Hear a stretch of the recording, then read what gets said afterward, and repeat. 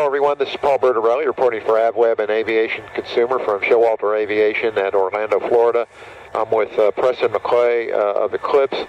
Uh, in a previous video, we looked at the uh, Total Eclipse 500, uh, which is a remanufactured version of the original Eclipse, and now we're in that actual airplane. We're going to take a test flight in it. Preston, I'm an experienced piston pilot, not an experienced jet pilot. What should I expect? Uh, specifically in this airplane, I'd encourage you to uh, use the trim. Don't be afraid to use trim. Uh, it's a lot heavier on the controls than most people think. Um, so use the trim to help relieve some of that pressure. And uh, with this initial altitude that we have, uh, it's going to come pretty quick. So uh, just be looking to level off and bring the power back because that's going to happen a lot. We've already talked about this is a completely automated airplane, so I'm going to let you run the automation, but the trick to flying it is to know that automation and fly it that way, correct? Correct. Okay, all right, let's take, let's take a, a flight in this thing. Sounds great. Here we go. When Eclipse says the 500 is an automated and integrated airplane, they're not kidding. Everything in this aircraft revolves around the Avio avionics suite. If you can make that play, the rest of piloting an Eclipse is like driving a Cessna 182. Note how much knob time Preston is spending to set up our brief flight. Even the engine start is automatic. Just switch them on and watch the turns and temperatures come up. With 1,800 pounds of total thrust, the Eclipse has generous power, but not so much that you can't keep up with it. Rotation comes at about 85 knots or so, and then the Eclipse kind of surges into a bottle rocket climb. Even though Preston warned me about that, I busted the initial altitude by a couple of hundred feet. You really have to haul back on the throttles to arrest the climb. En route, we were climbing at about 1,200 feet per minute at about 200 knots indicated. You can figure on about 35 minutes to reach the mid-30s, which is a sweet spot cruise altitude for the Eclipse. We're in the cockpit of the 550 here. We've been flying around. Uh, we're in descent back to Orlando, very busy airspace. Uh, you warned me when we took off that uh, you really got to stay ahead of the pitch in this airplane, otherwise you're going to get altitude excursions, excursions and I did. Uh, so really, we got to fly this airplane on the autopilot. It flies really well in the autopilot. It's uh, it definitely reduces the workload. It's a great autopilot, and um, it certainly it certainly helps when you're in busy airspace like this. And they gave us a 1,500 feet initial, which which happens pretty quick. Now, um, so really the, the, the, the intense part of the training on this is the Avio system because the airplane itself is relatively easy to fly.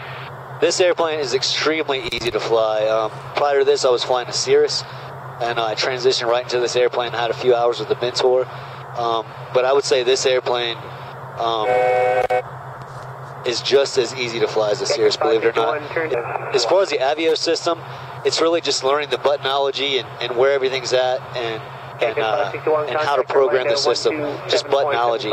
Um, but uh, it's it's very easy uh, once you get that figured out. Uh, it becomes pretty simple. And we're coming up on our fix here. We're here, right on time, big letter 11. And how long uh, typically does it take a pilot to learn the Avio system so he'll be comfortable in the airplane?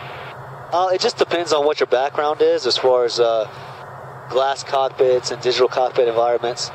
Um, it helped me a lot in the beginning to to come out to the airplane, put power on it, and just kind of push buttons and, and work my way through the system that way. Um, so the more that you can do, the better. But um, it's really pretty simple once you figure out. It, it's intuitive, and once you figure out the buttonology, um, the learning curve is pretty quick talk a little bit about performance uh, turn right heading of with the new uh, uh engine burner cans. This airplane is capable of 41,000 feet. 41,000. What kind of speed? What kind of range at that altitude? Uh, the range certainly increases. We decrease a little bit of the speed up there. Uh, this airplane really performs best. 35 to 37,000 feet is where you get your best performance. Um, I like having that capability to go to 41 uh, for, for range and to get over weather uh, if I need to.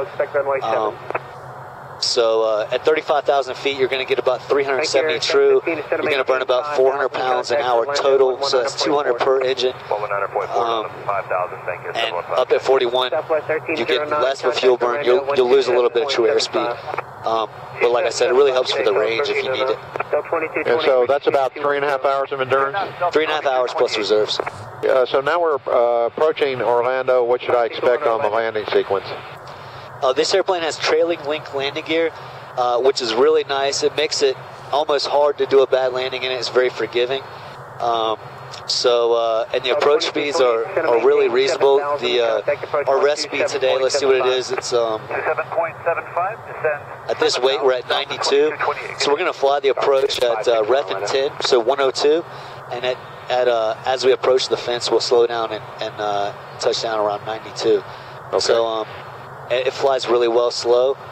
Uh, you'll notice the hand flying is a little bit easier with the less airspeed over the flight controls. Um, but landing this airplane, uh, it, it, it, really makes you look good. Okay, well, we'll see if I can make myself look good on this landing. We'll look at the landing next. Right. Preston told me the Eclipse lands like a Cirrus, and it sure enough does. After a 102 knot final and 90 knots over the fence, a relatively flat touchdown, just like an SR-22, greases it right on. With its new anti-lock brakes, the airplane will stop from touchdown speed in under a thousand feet. For a general overview of the total eclipse, see avweb.com for more and watch for a full review in the April 2013 issue of Aviation Consumer. For Aviation Consumer and AvWeb, I'm Paul Bertorelli reporting. Thanks for watching.